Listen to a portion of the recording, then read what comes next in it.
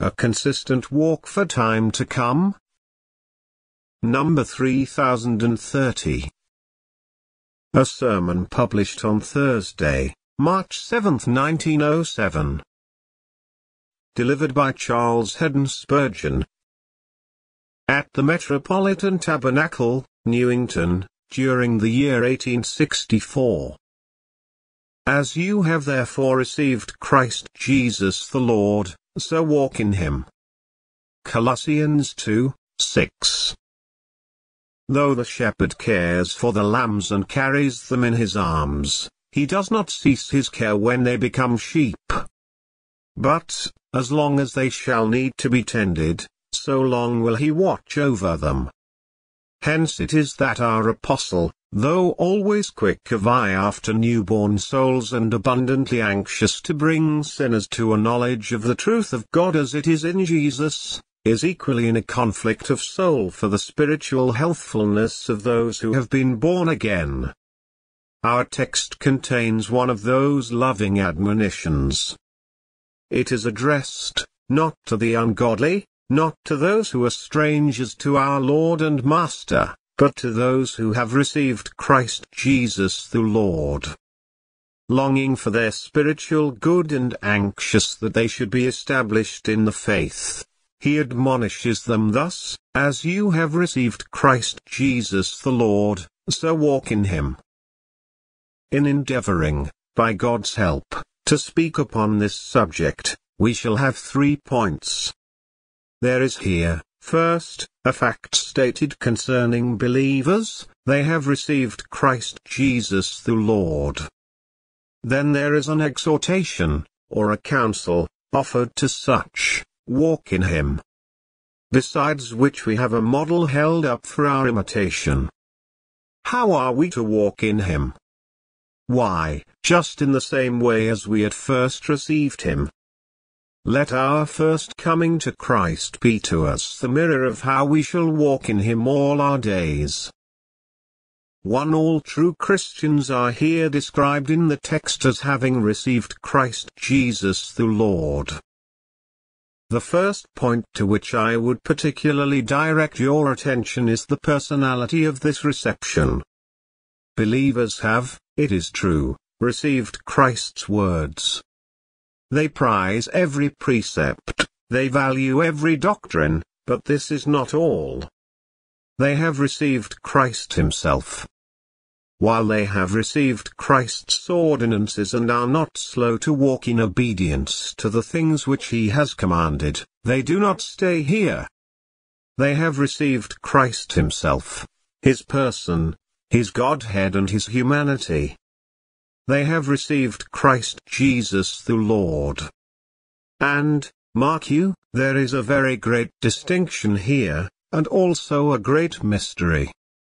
A great distinction, I say, for there are some who do, I think, wholly believe the doctrines which Christ has taught, and are profoundly orthodox, full of an earnest controversial spirit for the faith once delivered to the saints and yet, for all that, they do not seem to have received him, the very Christ of God.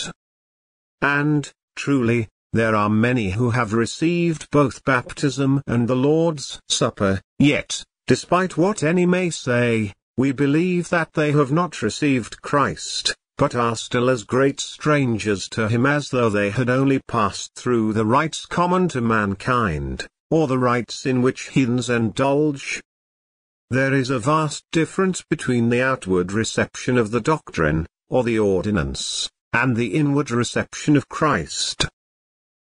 We also said that herein is a mystery, such a mystery that only he who has received Christ can understand.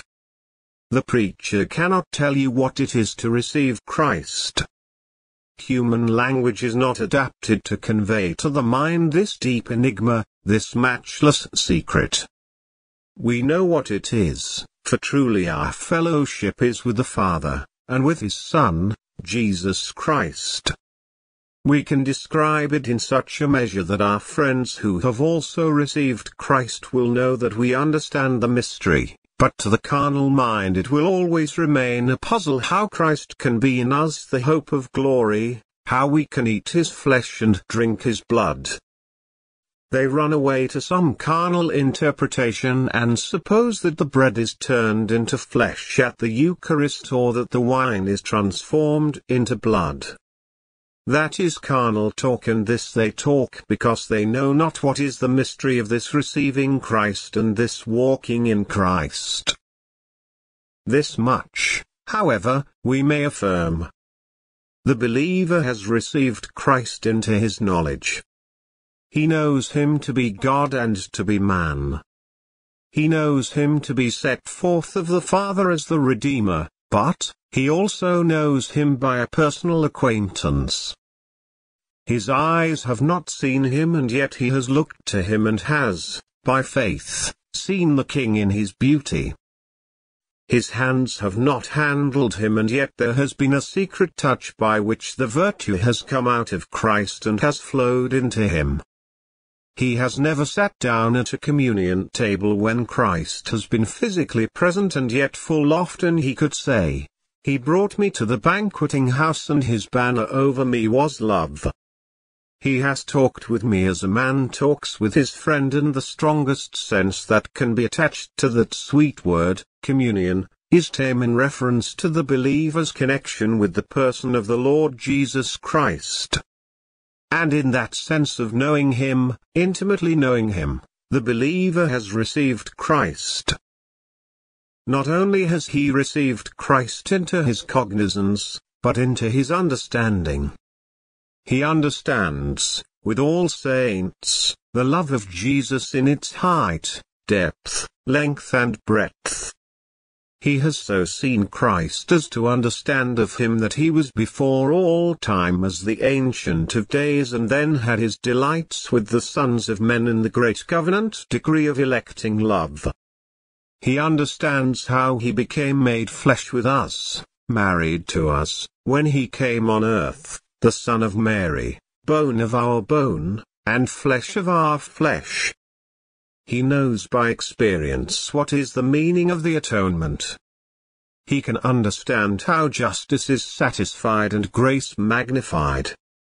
Without confounding or making mistakes, he knows how God was always gracious and full of love and yet how Christ Jesus came that the love of God might be shed abroad in our hearts and we were reconciled unto God by his death.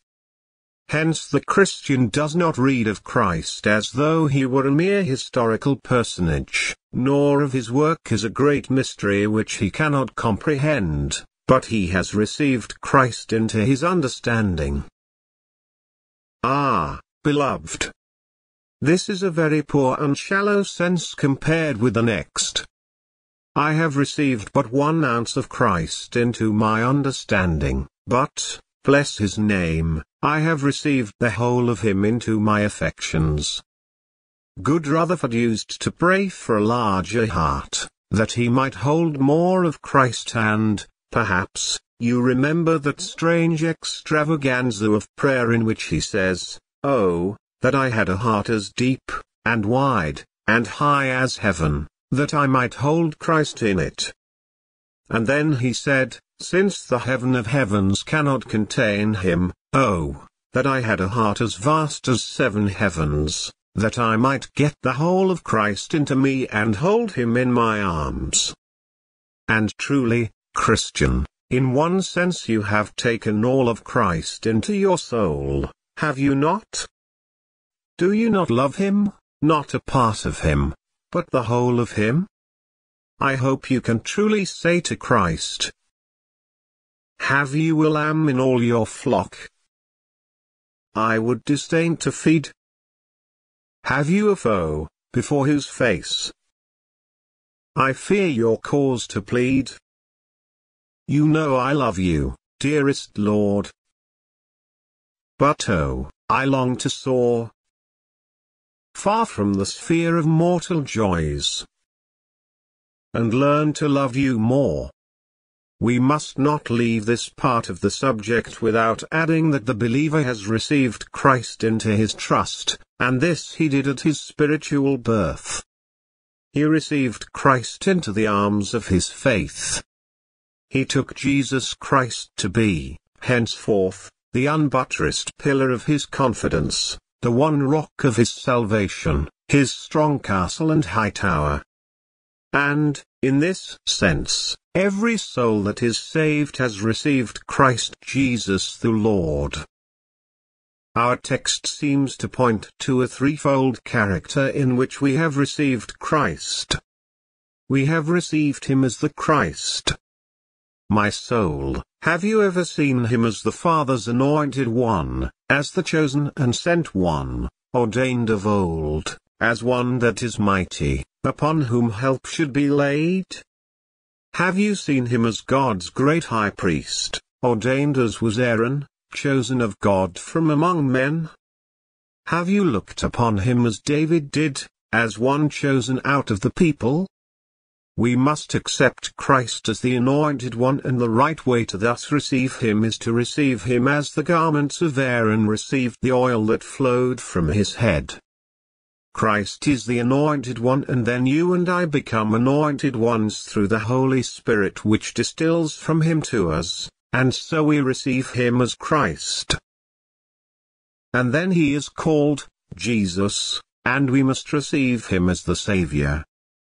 Apostrophe you shall call his name, Jesus, for he shall save his people from their sins.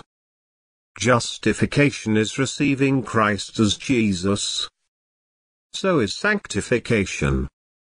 Only I think I must say, Justification and pardon receive Christ as Jesus, and sanctification receives him as Christ Jesus, both as the Anointed One and the Saviour. May you and I be daily delivered from sin, the guilt and power of it, and so receive him as Jesus. There is a peculiar emphasis about the next expression. The article is emphatic here, Christ Jesus the Lord. To me, if I receive Christ, he must be Lord, not one of the lords that may have dominion over me, but the Lord, peculiarly and specially. And though hitherto other lords have had dominion over me, now I am to obey him and only him. What do you say, Professor? Have you received Christ Jesus the Lord?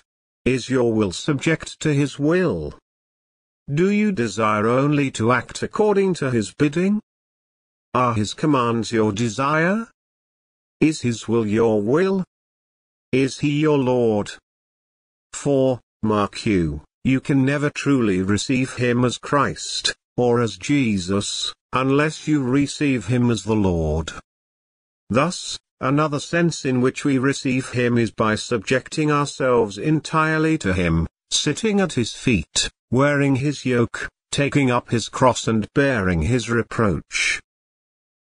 You will note that there is also, in this description of a Christian, the thought of his entire dependence. The apostle does not say, as you have therefore fought for and won or earned Christ Jesus, but, as you have therefore received him. It is a humbling word which divests the creature of everything like boasting. What is the to glory in if I am a receiver? The apostle in another place says, If you did receive it, why do you glory, as if you had not received it? The vessel that is filled under the flowing stream cannot boast, though it is ever so full, for it was naturally empty and owes its fullness to the stream. The beggar in the street, let him receive gold, yet cannot boast of the gold because he is a receiver.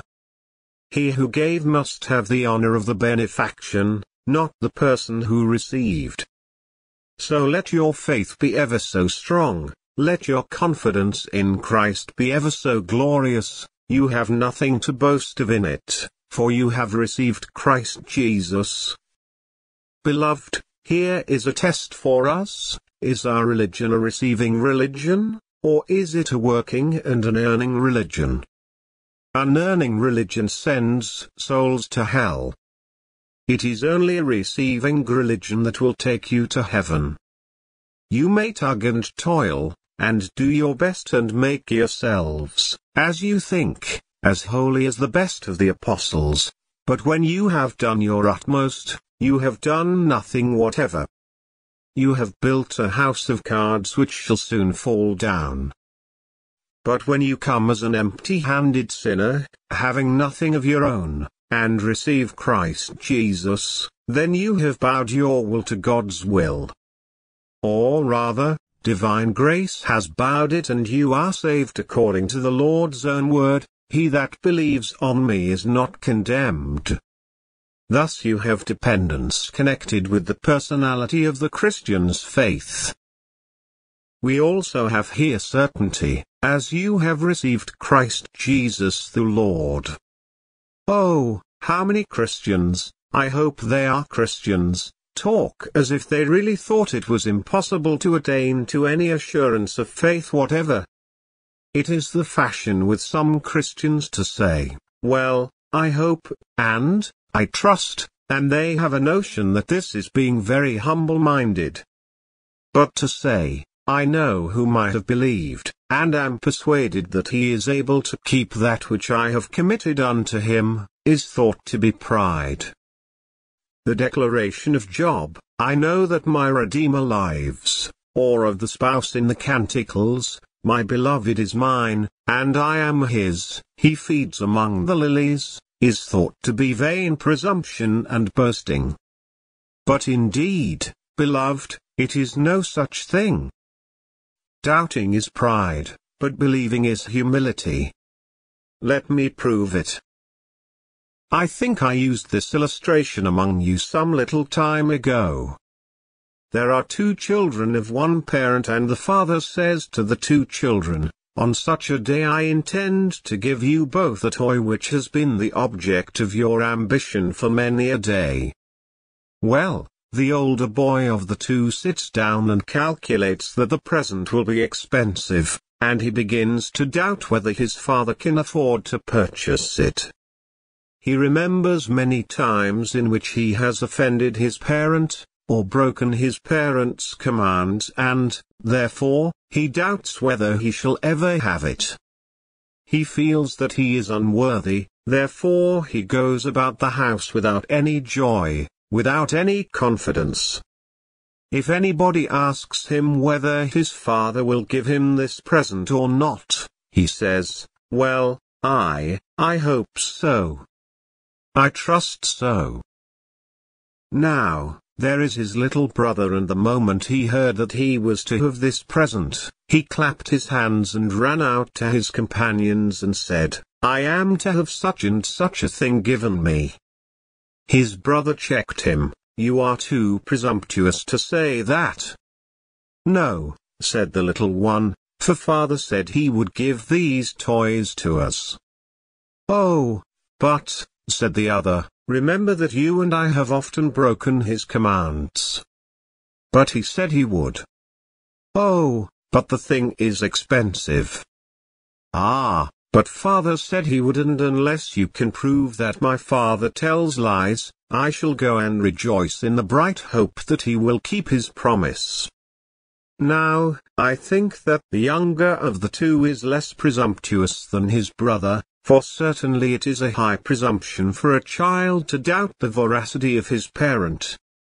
No matter how excellent your reasoning may seem to be, and how clear it may be to the eyes of the flesh, it is always pride to doubt God. And to believe God, though, to the carnal mind which can never understand the bravery of faith, it may look like presumption, is always a badge of the truest and most reverent humility. Beloved, you make know whether you are Christ's or not. I exhort you not to give sleep to your eyes till you know it. What? Can you rest when you do not know whether you are saved or not? O sirs, can you sit down at your tables and feast? Can you go about your daily business with this thought in your mind? If I should drop dead, I do not know whether I should be found in heaven or in hell? I tell you nothing but certainties will suit my soul. I hope I never shall rest comfortable while under a doubt of my interest in Christ. Doubts may come, these we can understand, but to be comfortable under doubts, we hope we never shall comprehend. No, nothing but to read my title clear to mansions in the skies can give me joy and peace through believing. You have received Christ the Lord. Just pass the question around the gallery there, and ask yourselves down below, have I received Christ Jesus the Lord? Say, yes, or no, and God help you to give the answer solemnly as in His sight. 2. As briefly as possible we turn to notice the counsel given, as you have therefore received Christ Jesus the Lord, so walk in him. There are three things suggested by the word, walk, continuance, progress, activity. To walk in a certain way means continuing in it. Now, Christian, you took Christ to be your all in all, did you not? Well, then, continue to take him as your all in all. The true way for a Christian to live is to live entirely upon Christ. Living by frames and feelings is a dying form of life. He lived by a feeling experience, said one, and a poor method of living, too. Christians have experiences and they have feelings, but, if they are wise, they never feed upon these things, but upon Christ, Himself. You took Christ to be your all in all at first. You did not, then, mix up your frames and feelings with Him, you looked entirely out of self to Him. Well now, continue in the same frame of mind. You sat down at the foot of the cross and you said, Now free from sin, I'll walk at large my Saviour's blood's my full discharge. At his dear feet myself I lay, a sinner saved, and homage pay. Well, then stay there. Stay there. Never get an inch beyond that position. When you get sanctified, still look to Christ as if you were unsanctified. When you are on the verge of being glorified, Look to him as if you were just newly come out of the hole of the pit. Hang upon Christ, you who are the best, just as though you were the worst. The same faith which saved Mary Magdalene, which saved Saul of Tarsus, must save you in the moment when you shall be the nearest to the perfect image of Christ Jesus. It is none but Jesus now to your soul. Let it be none but Jesus, none but Jesus, as long as you live. In walking, there is not only continuance, but also progress. After a man becomes a Christian, he has not to lay again the foundation, but he has to go on and to advance in the divine life. Still, wherever he shall advance, he is always to say, None but Christ. Christ is all. Depend upon it, every inch of progress that you make beyond a simple reliance upon the Lord Jesus Christ will entail the painful necessity of your going back. If you begin to patch Christ's robe of righteousness with the very best rags of your own, no matter how cleanly you may have washed them, every rag will have to be unraveled, and every stitch will have to be cut. There is the rock, Christ Jesus. Some Christians begin building their own stages on the rock. How carefully they tie the timbers together. How neatly they plane and smooth them. And then they get high up upon these stages that they have built and they feel so happy, they have such frames. Such feelings. Such graces such fullness. And they are inclined to look down upon those poor souls who are crying, none but Jesus. By and by there comes a storm and the edifice they have built begins to creak, and crack, and rock to and fro, and they begin to cry, Ah, where are we now? Now we shall perish. Now Christ's love begins to dry up. Now he will fail us. No, no such thing. It is not Christ who is failing you. It is not the rock that is shaking, but what you have built upon the rock. Come down from the stage which you have built and, as Job says, embrace the rock for want of a shelter. I believe those souls have the most safety and comfort who simply trust to Christ. Was it not Irving who said that he believed his good works had done him more harm than his bad works had done him, for his bad ones drove him to Christ, but his good ones led him to rely upon them? And, after all, are not our good works, bad works? For is there not something in all of them to make us fly to the fountain of the Saviour's blood for cleansing? As you have therefore received Christ Jesus the Lord, so walk in him, also implies activity. Christians are not to be lie-abeds, nor forever to sit still. There is an activity in religion without which it is of little worth. Feed the hungry, clothe the naked, help the poor, teach the ignorant, comfort the miserable. But take care that when you do all this, you do it in Christ, and for Christ, and let no thought of merit stain the act. Let no reflection of getting salvation for yourself come into mar it all, but in Christ Jesus walk day by day.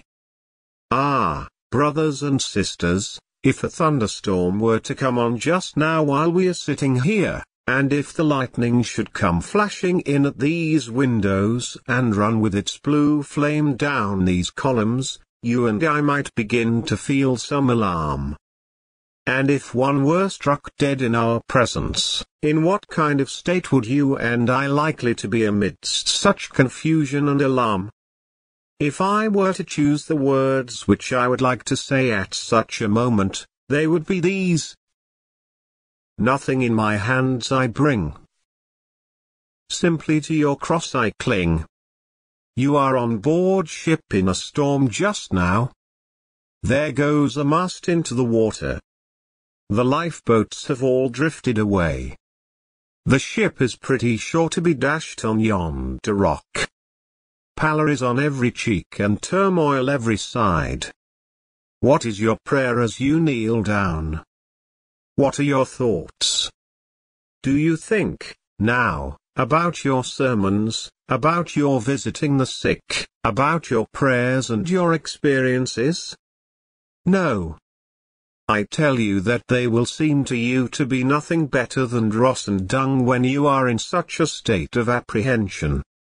But you will cling to Christ's cross and be conveyed to heaven, let the stormy winds blow as they will. And if everything were silent, tonight, could we hear nothing but the ticking of the clock were we, ourselves, reclining on our death pillow?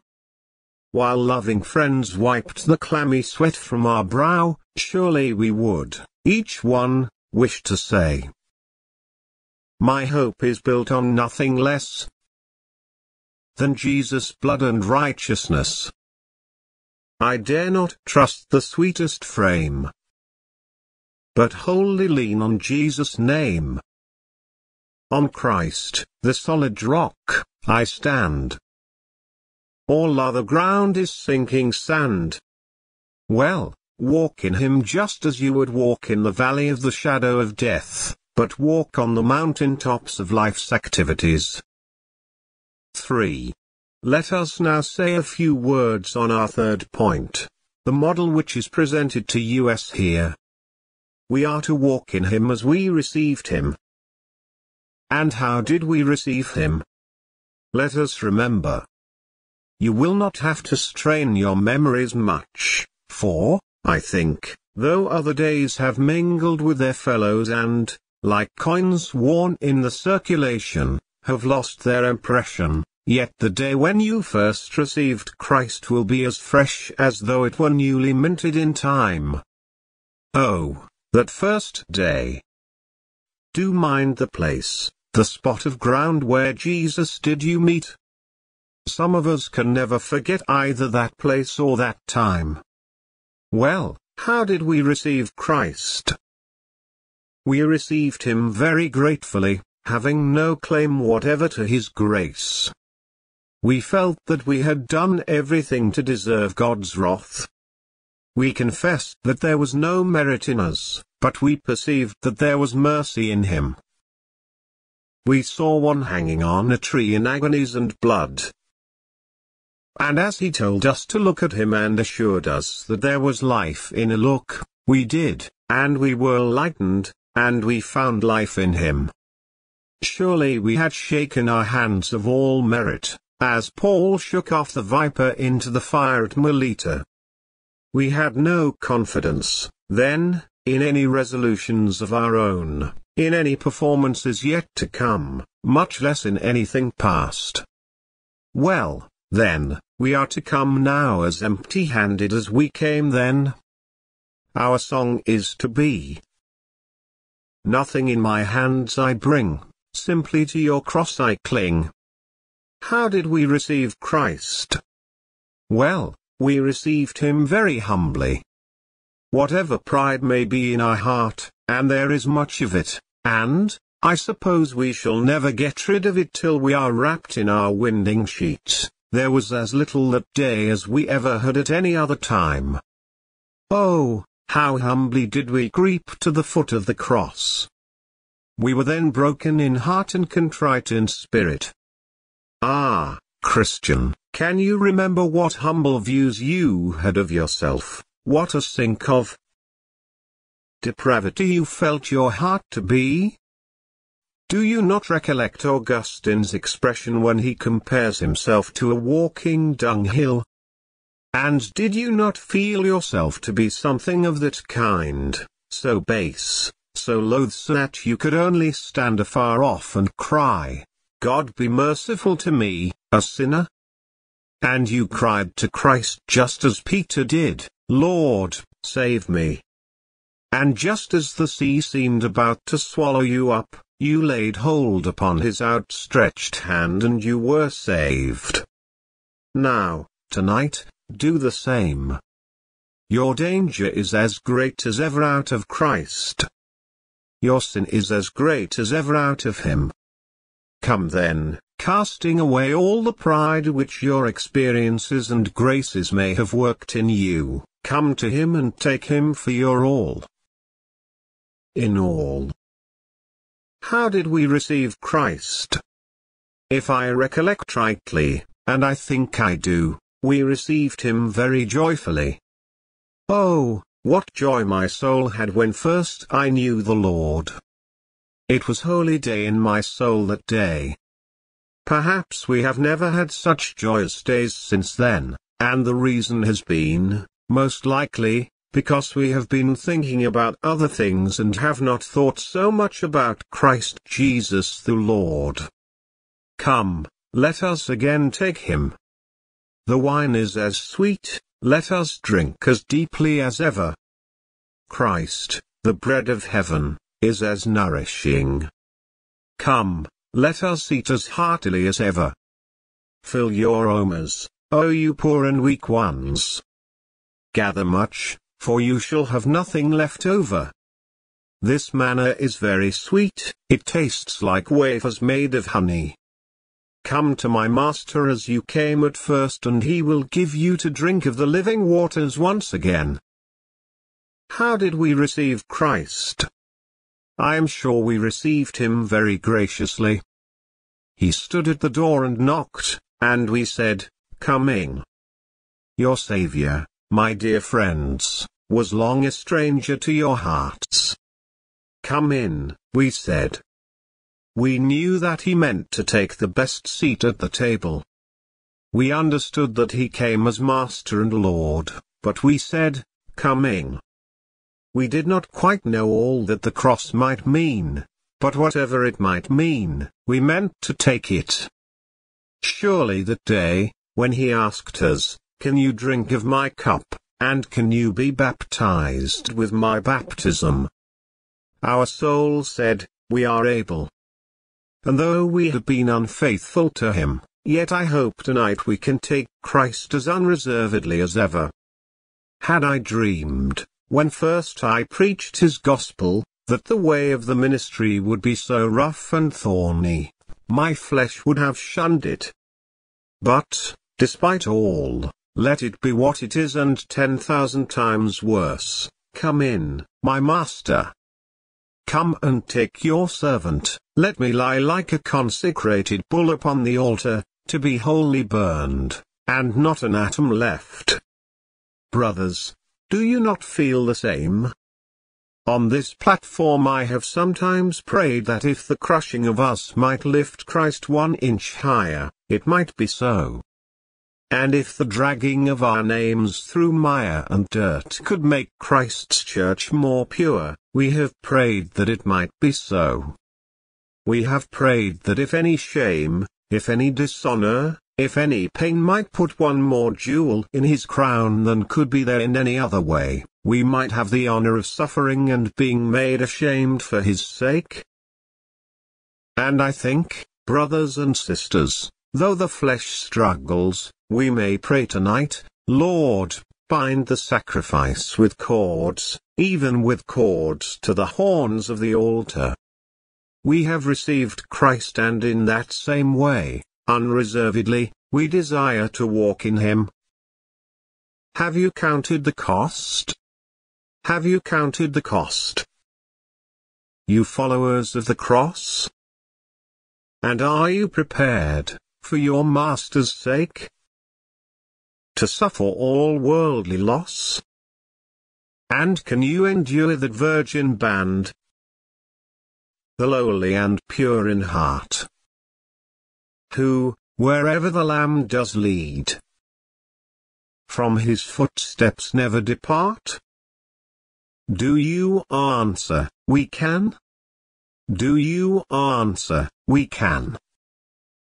Through his love's constraining power? But do you remember the flesh is weak? And will shrink in the trial hour? Yet yield to his love who around you now? the bands of man would cast. The cords of his love who was given for you. To his altar binding you fast. You may count the cost, you may count the cost of all Egypt's treasure. But the riches of Christ you can never count. His love you can never measure. As you have therefore received Christ Jesus the Lord, so walk in him. But oh, some of you have never received him, so my last word is to them. Do you ask, what is the way of salvation? It is by receiving Christ. Oh, then come and receive him. May the Holy Spirit's power lead sinners to Christ. You need not bring anything to him. You need not bring a soft heart to him. You need not bring tears of repentance to him. But just come and take Christ. Remember, it is not what you are, but it is what Christ is that saves you. Never look at yourself, but look at the wounds of Jesus. There is life there. God help you to look, to look tonight. And if you shall find him, our prayer shall be that from this day forth, you shall walk in him and he shall have the glory.